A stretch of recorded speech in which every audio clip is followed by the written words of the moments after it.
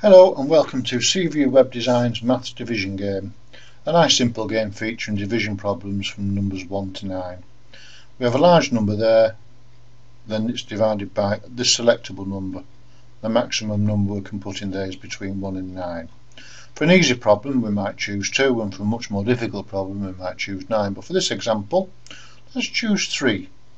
Click on 3 it changes there, we say play, start and we get the 6 divided by 2 is what? The answer is obviously 3, so we say 3, up it goes, and the child is rewarded with a round of applause. Press start again, or tap it if it's a tablet that you're playing. We get 12 divided by 4. Now we, sorry, 12 divided by 3, we know the answer is 4. But if I was to say 5, put in the answer 5, which is obviously wrong, it goes uh, try again and the problem stays there for another chance of solving it. So we say 12 divided by 3 is 4 off it goes. Hey.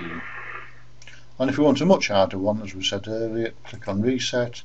Let's put the number 9 in. Play. Start.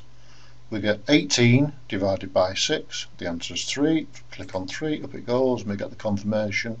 The round of applause start again. Oh getting more difficult now. 28 divided by 7 and again if we put the wrong answer in let's put in 6 and it does that for every occasion until you pick the right answer.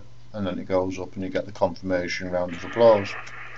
To enjoy these games we have other games available. We have addition subtraction multiplication and this one division. Okay bye bye